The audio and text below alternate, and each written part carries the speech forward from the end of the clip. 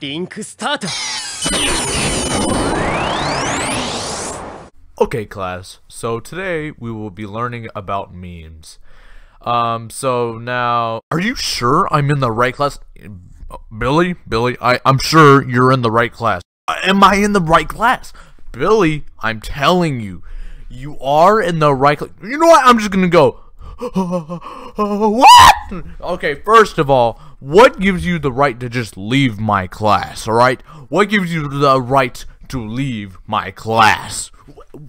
Well, I I don't want to learn me. What? Oh, okay. First of all, you need to learn me. That is one of the curriculum circumstances of this subject. So if you want to learn, you better sit down in your your MacBook right now because you are distracting other students learning. So if you are trying to distract people while learning, then I'll uh, I'll whip you with the ruler. Oh.